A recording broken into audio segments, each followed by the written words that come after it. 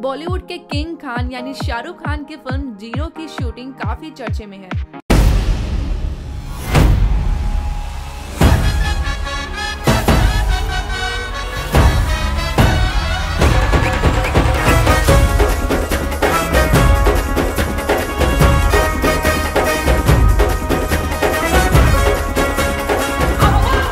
इस फ़िल्म में शाहरुख खान के साथ अनुष्का शर्मा और कैटरीना कैफ भी मुख्य भूमिका में है। खबरों की माने तो ज़ीरो के क्लाइमैक्स की शूटिंग के लिए अनुष्का शर्मा और शाहरुख खान अमेरिका में स्थित नासा पहुँच गए हैं। शाहरुख खान करीब 14 साल बाद किसी फ़िल्म की शूटिंग नासा में कर रहे हैं। इससे पहले उन्होंने 2004 में आई फ़िल्म स्वदेश के लिए नासा में शूटिंग की थी।